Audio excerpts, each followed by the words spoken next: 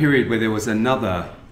what at the time looked like a big data revolution in um, kind of anthropology and sociology. Um, a particular uh, case study that is interesting in reflecting on the ways in which anthropology and sociology emerged as disciplines and some of the kind of challenges that, that um, uh, emerged at the time out of studying particular kinds of data and um, think through some of the kind of implications of that for the, the kind of current uh, data revolution uh, and uh, the ways in which it might transform heritage research uh, for us now and the present. Um, so I think each of the three papers in the morning session raise questions of the relationship between collective and individual beliefs, actions, and knowledge practices, both from the outside in the sense in which, uh, as researchers, we may be interested in developing new techniques for investigating what people say and do and understanding how this reflects on what people value, but also from the inside in the sense in which these uh, various social media represent uh, liberal governmental technologies or techniques of self fashioning. And by that I mean technologies that are equally concerned with making and remaking individuals and collectives as part of complicated iterative feedback loops. Uh, and, and they're as concerned with that set of processes, um, that set of processes of making and refashioning individuals and collectives as they are with simply reflecting them. So they're just they're not just a picture, but they're kind of active active parts and machinery of these processes of uh, of fashioning and refashioning individual and social collectives. So I want to put some of these concerns within a broader historical context and draw on what I think might be some helpful analogues from the history of anthropology and sociology as part of a, um, a broader piece of collaborative research that I was involved in, which looked to develop a comparative history of museum anthropology across the United States, UK, France, Australia, and the Pacific in the 20th century. And this project looked particularly at the shift from race to culture as a governing uh, what we term transactional reality, drawing on um, Foucault's work, for understanding how differences within collections, and by extension, differences within human populations, should be collected and ordered, and how these ways of understanding difference might be deployed through targeted practices of social government. And as part of this project, which culminated in the jointly authored monograph Collecting, Ordering, and Governing, one of the things that I worked on particularly was the Mass Observation Project, an early attempt to use social media in the form of the Postal Service to both understand and shape individual and collective human sentiment and will before, during, and after the Second World War in Britain. And so we tend to think of the current interest in citizen science and big data research within heritage and museums is relatively new, but I want to look on this earlier history of attempts to collect, reflect on, and understand collective sentiment, what mass observation referred to as morale, in the light of some of the issues which the paper in the morning session raised, which ask similar questions. So, mass observation was founded in 1937 in the immediate wake of the uh, Edward VIII abdication crisis, when anthropologist and amateur ornithographer Tom Harrisson, recently returned from fieldwork in Borneo and Vanuatu, responded to a letter published in the left leaning periodical New Statesman and Nation by poet and subsequently sociologist Charles Madge, which announced the establishment of the Blackheath Group concerned with developing an anthropology at home uh, to help understand the reaction of the public to this and similar contemporary events. The Blackheath Group included a number of individuals, including Mass Observation co founder, poet, and documentary filmmaker Humphrey Jennings uh, and photographer Humphrey Spender, who'd been involved in, in organising the first London International Surrealist Exhibition in 1936 and their approach was strongly influenced by surrealism and notions of the collective unconscious. Harrisson, who'd begun working in 1936 in the north of England in a factory in Bolton as an exercise in what he termed the participant observation of England's natives, combined his anthropological fieldwork practices with the more artistic and journalistic methods of Madge and Jennings, and the foundation of mass observation was reported in the same periodical briefly afterwards. And mass observation quickly proceeded along two fronts. Harrisson initially developed and directed the Worktown project uh, and the Seatown project, which were operated out of a house rented by Harrisson for this purpose in Davenport Street in Bolton. This project involved forms of relatively covert observation undertaken by a small number of individuals, generally around about a dozen, although sometimes up to 60 uh, observers, um, and these were paid and sometimes volunteer observers who observed others under Harrisson's direction, keeping copies of notes and making detailed reports on their findings. So he would give everyone a kind of theme or a topic, send them out on a day, and they would come home and they would collect their thoughts. Meanwhile, the, uh, the National Panel of Part-Time Volunteer Observers was established and directed by Madge from his home in Blackheath in London. This national panel was composed of volunteers who initially agreed to keep a diary of all of their own activities and reflections on a single day, so these were referred to as day surveys, and subsequently to respond in writing to particular directives, such as this one here on the screen, which were queries sent out by the team of, Blackheath, so a, sort of a quest, proto-questionnaire, I guess. The important distinction here is between the observation of others in the Worktown project and the observation of self in the national panel, although sometimes members of the national panel were also asked to interview colleagues and family members about particular issues and directives. And in the book, we place this within a much longer history of amateur anthropology, anthropological survey, most notably the uh, British Association for the Advancement of Science ethnographic survey of the United Kingdom and notes and queries on anthropology. So members of the national panel were recruited through advertisements placed in magazines and newspapers, in particular the New Statesman and Nation, but also responded to radio programs, popular pamphlets and books, uh, which were published recounting the aims and preliminary findings of the organisation, which became a subject of national interest and frequent public comment as a result of widespread media coverage. So the size of the national panel quickly swelled to over 2,000 people as mass observation developed into a popular social movement in the months leading up to the outbreak of the Second World War. Following the outbreak of war, the fear of the disruption of the postal service forced mass observation to desist from sending regular directives, and national panel me members uh, were instead urged to get comprehensive diaries during this period, a task which almost 500 people undertook sporadically or continuously throughout the Second World War. And this produced this um, kind of amazing archive of these war diaries, which I, I haven't looked much at, um, but there's been quite a lot written about. Um, Mass observation took on a very important political role during this period when it initially publicly criticised government efforts to engender support for the war effort, and subsequently it was commissioned by the Ministry of Information to provide in information about wartime morale and, and ultimately became an actual instrument of, of uh, wartime government. So conflict between the various founders saw Jennings part company with Madge and Harrisson in 1938 to concentrate on filmmaking for the General Post Office Film Unit, which in 1940 became the Crown Film Unit, also part of the Ministry of Information, and they made a number of um, uh, sort of wartime propaganda films. London Can Take It, very sort of uh, uh, in spirit, spirit-raising kind of films. Um, Madge subsequently departed to undertake various research projects including a study of wartime economics for the Institute of Economic and Social Research, and, and subsequently took up the first chair of sociology at University of Birmingham in 1950. And mass observation was subsequently wound down in 1950. Um, it had increasingly become a kind of market research organisation.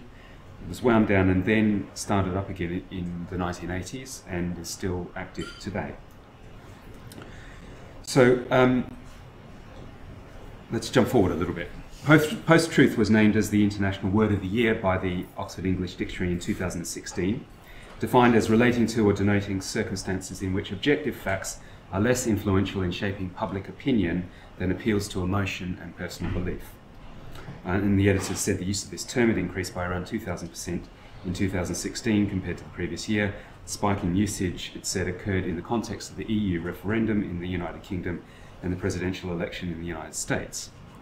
So mass observation was founded in 1937 in the midst of another post-truth crisis, if not in name, then certainly in sharing a similar set of concerns with the relationship between collective sentiment and what would become known as morale or knowledge and truth. In February 1937, Mass Observation wrote, As a result of the abdication crisis, we realised as never before the sway of superstition in the midst of science, how little we know of our next door neighbour and his habits, of conditions of life and thought in another class or district, our ignorance is complete. The anthropology of ourselves is still but a dream. But how might an examination of the collecting, ordering, and governing practices associated with this anthropology at home project provide insights into the current political and intellectual crisis of post truth and a more general reflection on some of the themes raised by the morning's papers? I think a consideration of what was perhaps most successful and probably most interesting in mass observation, which was an attempt to reshape collective knowledge practices and to bridge the gap which was perceived between the rulers and the ruled, the governed and the, and the government, by insisting on the transformative and emancipatory potential of collectivized liberal practices of self observation, self reflection, and self knowledge might be helpful here. In mass observation, it was thought that these oligoptic practices would en masse help to develop liberal participatory forms of citizenship based on responsibilized freedoms and norms which were collectively generated.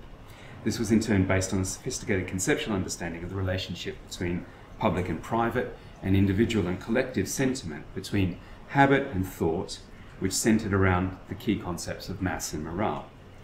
So, what was novel in mass observation, particularly in this early period, was the ways in which it combined the observation of the self and others with the process of collecting.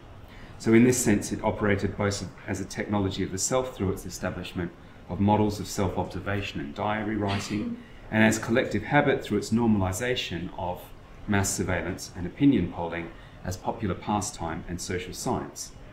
Um, it did this through this sort of feedback loop that it established between the directives which were sent out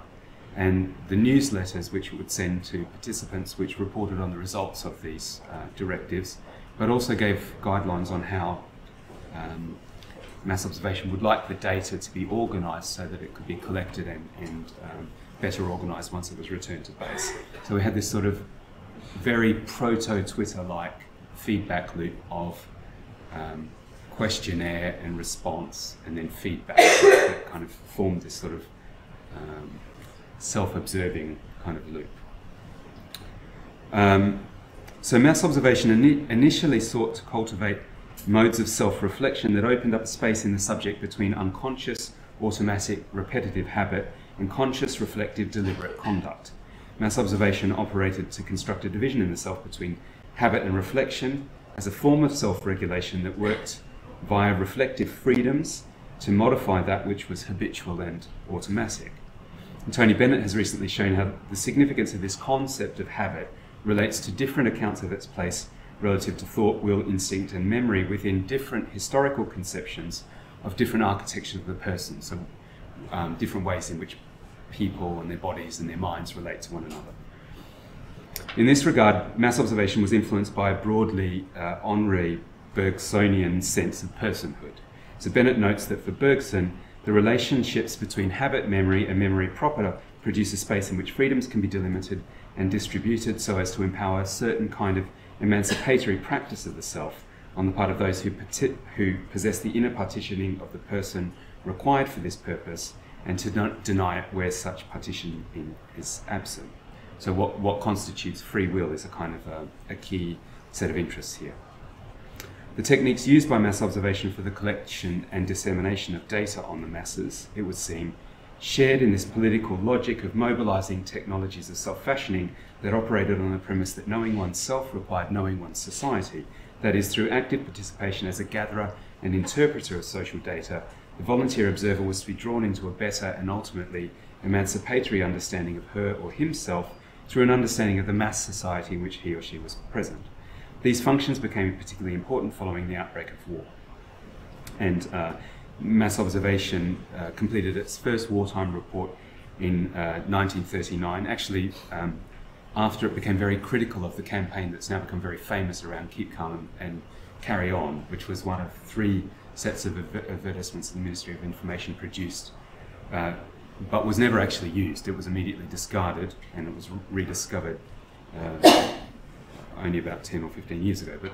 um, the other two were, were very uh, strongly criticised by mass observation based on their, uh, the data that they were collecting from their uh, respondents um, as part of the day surveys and also as part of their directive questions. Um, and it, um, it went on to deliver its final report in 1941. And this resulted in a new kind of application for these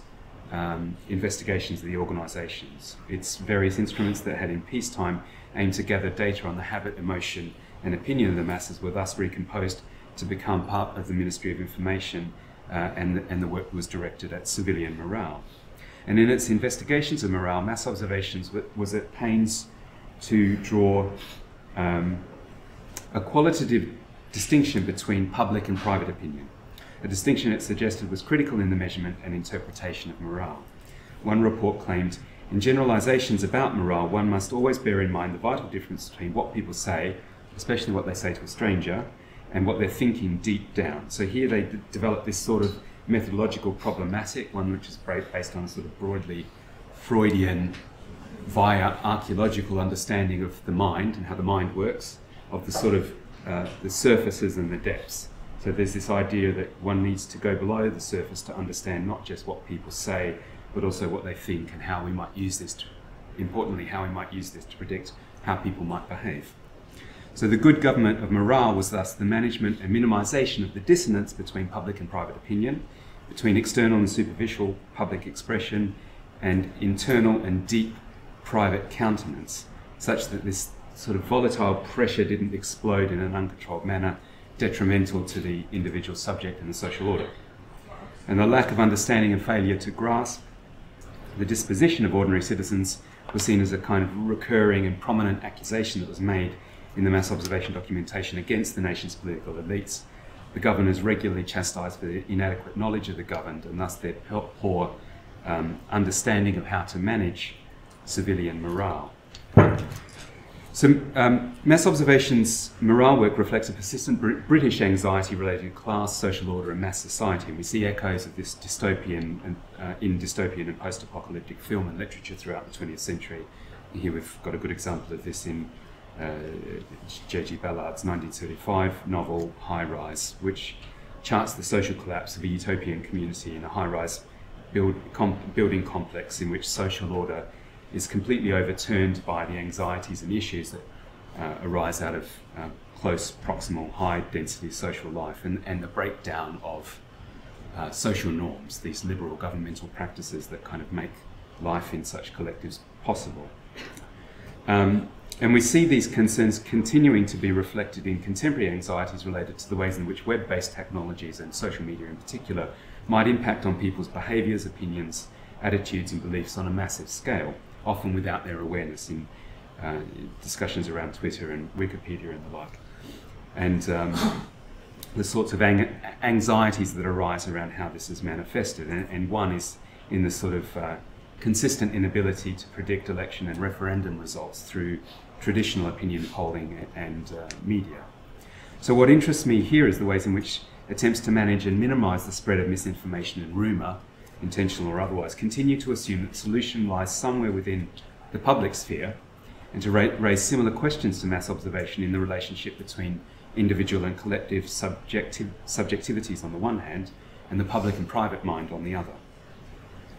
So, for example, Google uh, in 2015 2016 proposed this variable for quantifying the quality of web sources and relaying this into its search results, this knowledge based trust score, um, uh, as, a, as a sort of answer to something like PageRank or Authority Hub, which tended to just sort of aggregate, push things that were used a lot more to the top. Um, but it was still based on this assumption that objective truths would be present en masse within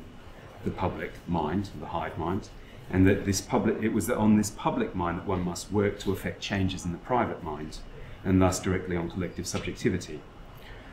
Uh, however, much contemporary digital social media assumes a process in which the private is effectively turned inside out. So the private is made public, but in doing so, this would seem to falsely assume the distinction between individual and collective public and private subjectivity is straightforward in precisely the way that mass observation warned against. This inability to reflect on or develop additional instruments which might help to understand private opinion and the ways in which it interfaces with public opinion to generate what mass observation called morale seems to be a significant failing in contemporary debates about public knowledge and post truth. And although many have suggested the death of privacy as, as, a result of the ways in which people's lives are increasingly lived out in the public by way of social media, uh, it's clear that other more complicated aspects of collective mentality continue to play into such issues. So, while Twitter, for example, represents an incredibly sophisticated, almost instantaneous extension of the kinds of feedback loops that were initiated in mass observations, practices of collective self knowing, it nonetheless, nonetheless lacks other aspects of mass observation's interests in the complicated relations of subjectivity which helped articulate morale as an object of collecting and knowing and an interest in its good government through intervening in and managing the dissonance between public and private countenance. Um, so there's a connection here with Tony Bennett's recent work again on habit and the different models of habit which relate to individual, which um, ask us to begin to understand the difference between what constitutes individual habit and collective habit. Um, these arise from recent developments of the interfaces of governmentality and actor network theory that also points to the need to take into account the organisation of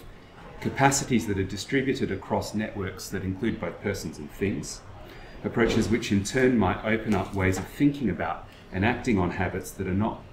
either solely the properties of individuals nor mere aggregates distributed across segmented populations, but are instead parts of actionable moral orders constituted in the relations between human and non human actors. So there's something which is fundamentally different. So, in this sense, perhaps mass observation has something to tell us about the complexity of collective subjectivity, which is absent from contemporary debates relating to social media, post truth, and populations, and which touches more generally on the recent interest within museums and heritage within crowdsourcing values and attempts to democratize their practices through forms of citizen science. The significant gap between techniques and methods for understanding individual and collective belief, sentiment, and actions seems to me to be an important area for further development, an issue which all three of this morning's papers reflect on in their own particular ways. And while these questions are only beginning to be addressed, I hope by placing them within a broader historical uh, context, but also within a sort of meta-disciplinary context. Um, this provides some ways of thinking productively about the future of this area of research and some of its social and governmental implications. Uh, I don't think I need to see questions because I think it is time for lunch. So we'll, um, but if anyone wants to talk to me about this, we can talk about it either in the next session or at lunchtime. Uh, and we'll come back at we said we'd shift it through 15 minutes. So yeah, we'll come back at uh,